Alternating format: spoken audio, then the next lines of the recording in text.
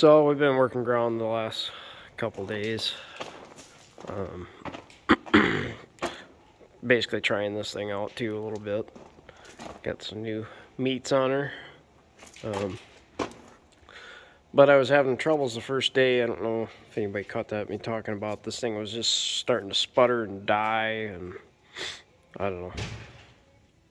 So I uh, don't know what that was. But anyways, I was talking to the guy that worked on the tractor and he talked to a uh, guy at a diesel shop. Uh, there's a secondary solenoid because this has um, an electronic shut off instead of a push-pull cable. It's electronic or whatever. But this one I believe is the secondary. And he said when they rebuild these pumps, they, there's a plunger, this little guy, a spring and a plunger that shuts the fuel off. So suggested pulling that out, pull that out, and haven't had any problems. So I guess if you have a 60 series and you're having problems with it shutting off, uh, just take that wire off and unscrew that and pull this thing out of there because you don't need it see if that helps. So, but yeah, otherwise it's it's running good. Um, the planter, when I was running that, I found a couple things. I didn't like the scrapers that were on it. They were plugging up, the rotary scrapers. Um, and then also I was getting a little too much down pressure for what I wanted. So I took the original springs off the sides since I got the heavy duty ones on there now. So we're gonna try it that way. See if that helps. I can always add more down pressure, but it's hard. I had them set as low as I'd go and I was still getting too much down pressure and I didn't even have that much seed in. So, um, in our ground anyways, you can uh, get sidewall compaction pretty easy if you get too much down pressure on your row units. So, yeah. Still haven't tried out the sprayer, so I don't know if all that stuff is working or not, but uh, it's been too cold to put water in it. So, great idea to have corn in the ground, huh? well, you took about one of them days. Oh, it's supposed to not freeze now. I still got snow in the ditches, but uh, tried to go spray earlier and I couldn't get any GPS. I couldn't get that to work. So this is actually my other one. I got it hooked up and I tried it out at home with just water. So far it worked, but now I, I shut it off and now I don't have good enough signal yet. But uh, stuff is nice when it works. This is why I wanted to try it out a long time ago. But, uh, yeah, the weather just hasn't cooperated for that. Obviously, it's, uh, we got about two inches of snow.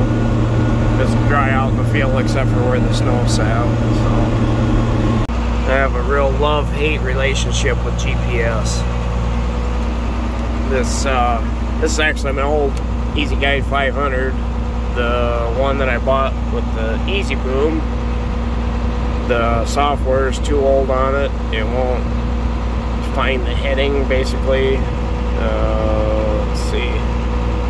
Your heading right here, it just shows zero on that one. So, but I don't know. This thing's been acting up too.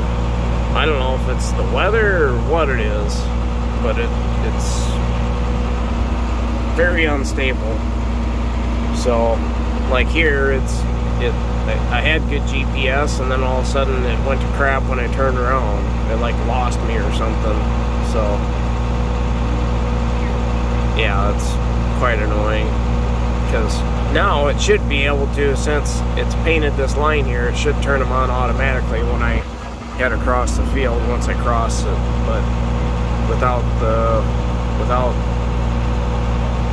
better signal, it kicks it out. Right now I'm only getting four satellites. Before I was getting six. So I don't know what the heck is going on.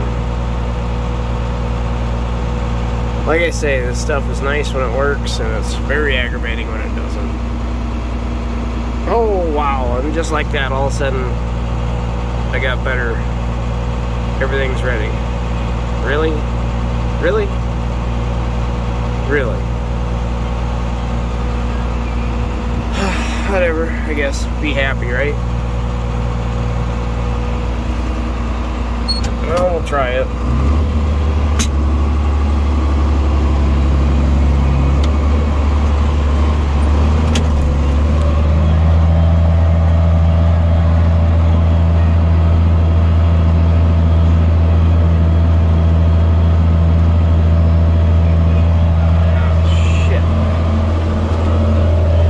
Never that one on. What the hell? Oh my gosh. Well, it wasn't all that pretty, but I got it anyways. Good grief. kind of a joke. Kind of a joke. I planted 10 acres, or just over, and I sprayed 10 acres, so. Yeah.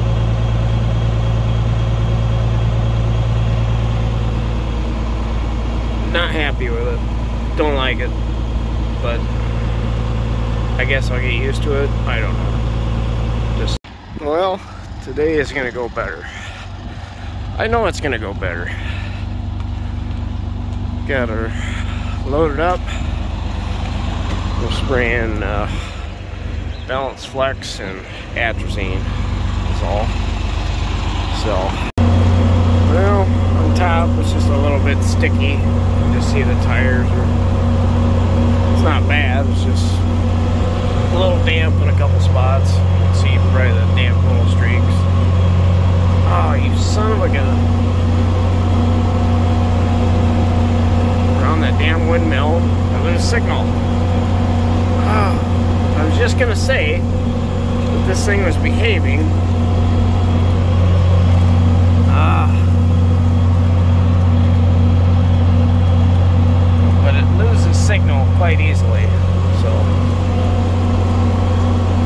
But at least it keeps spraying, I guess, but I lost my steering when it does that.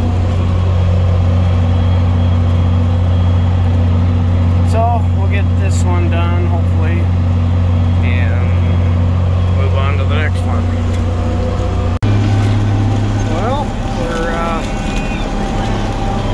I don't know, 20 some acres into this field, and uh,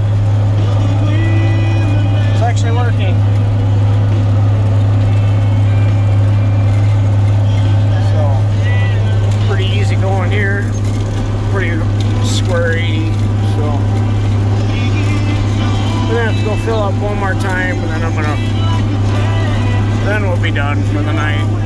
It's supposed to rain tonight, and tomorrow, and the next day, so probably won't amount to that much, but going's good right now, so we're gonna get it. Not too many times you can spray in the dark. Put a couple extra lights shining off to the end of the boom, so I know it doesn't show up that great on the camera, probably, but working pretty good.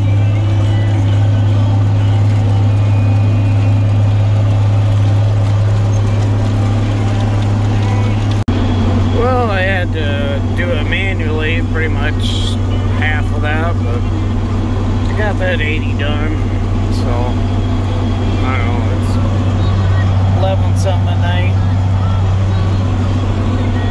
And the next farm I need to do is nine miles away, so I am not going to start a new one at 11:30 at night. It'll be fine. I only got maybe oh, I'm under 200 acres left to spray, so for corn, so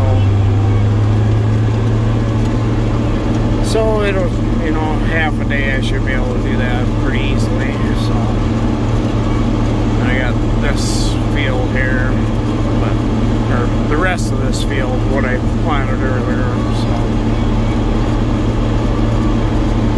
so yeah, I, uh, that stupid thing, I, oh, so irritating.